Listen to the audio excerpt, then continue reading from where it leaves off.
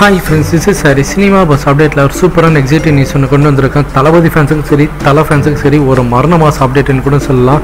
So Atlee பார்த்தீங்கன்னாக்கா லாஸ்ட்டாக மெர்சல் படம் எடுத்திருந்தாரு நம்ம எல்லாருக்கும் தெரியும். அடுத்தது யாரை வச்சு ஒரு படம் எடுக்க போகிறோம்னு சொல்லிட்டு மிகப்பெரிய கேள்விக்குறி கோலி டோட்டாரத்தில் இருக்குது ஸோ இப்போ லேட்டஸ்ட்டாக கிடைச்ச ஒரு ஷார்ட் டாப்பிக்கை பற்றி பார்த்தீங்கன்னாக்கா சமூக வலைதளத்தில் ஒரு சூப்பரான வைரல் நியூஸ் ஒன்று ஸ்ப்ரெட் ஆகிருக்கு அது என்னன்னாக்கா அட்லி அடுத்தது விஜய் அஜித் ரெண்டு பேரும் இணைத்து பார்த்தீங்கன்னாக்கா ஒரு படம் சூப்பராக வந்து எடுக்க போகிறதா ஒரு தகவல் கசிஞ்சிருக்கு.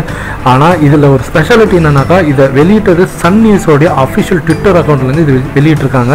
ஸோ அட்லி கொடுத்த ஒரு பிரத்யோக ஒரு பேட்டியில் அதை சொல்லியிருக்கதா அவங்க சொல்லியிருக்காங்க. ஆனால் என்ன ஆச்சுன்னு தெரியல அவங்க அந்த போஸ்ட் போட்ட அடுத்த ஒரு ஒன் ஹவரில் அந்த போஸ்ட்டை டெலீட் பண்ணியிருக்காங்க. ஸோ இதை பார்த்தீங்கன்னாக்கா இப்போ ஆன்லைன் சோஷியல் மீடியா ட்விட்டர்லலாம் பார்த்தீங்கன்னா ரொம்ப வைரலாக டாக் இருக்குது இதை பற்றி நிறைய பேர் இதை பற்றி தான் டிஸ்கஸ் பண்ணின்னு இருக்காங்க ஆனால் இது வந்து உண்மை தான் இப்போ வந்து அட்லி வந்து ஊரில் எல்லா திருப்பதிக்கு போயிருக்காரு.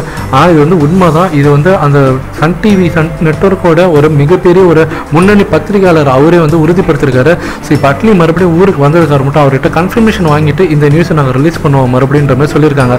ஸோ ஃபேன்ஸ் நீங்கள் கீழே கமெண்ட் பண்ணுங்கள் ஆல்ரெடி அட்லி சொல்லியிருந்தார். ரெண்டு பேருமே வச்சு ஒரு படம் இருக்கிறதா என்னோட வாழ்க்கையின் கனவுன்ற மாதிரி அவர் சொல்லியிருந்தார். கண்டிப்பாக விஜய் சிக்ஸ்டி டூ அதேமாரி விஸ்வாசம் படம் ரெண்டுமே ஒரே டைமில் ரிலீஸ் ஆகும். அடுத்தது அவங்க யாரோ டேரக்ஷன் நடிக்க போகிறாங்கன்னு சொல்லிட்டு மிகப்பெரிய கேள்விக்குறி இருக்குது கண்டிப்பாக அது அட்லி இருந்தாக கண்டிப்பாக ரசிகருக்கு கொண்டாட்டம் தான். அப்படி அவங்க ரெண்டு பேரும் ஒன்றா சேர்ந்து நடிச்சாங்கன்னா எந்த படத்தில் நடித்தா எந்த மாதிரியான கதையில் நடித்தா சூப்பராக இருக்கும்? இல்லை அட்லியோட பாணியில் ஒரு ரீமேக் படத்தில் நடித்தா என்ன மாதிரி ரீமேக் படத்தில் நடித்தா நல்லா இருக்கும்னு சொல்லிட்டு நீங்கள் கீழே கமெண்ட் பண்ணுங்க ஃப்ரெண்ட்ஸ்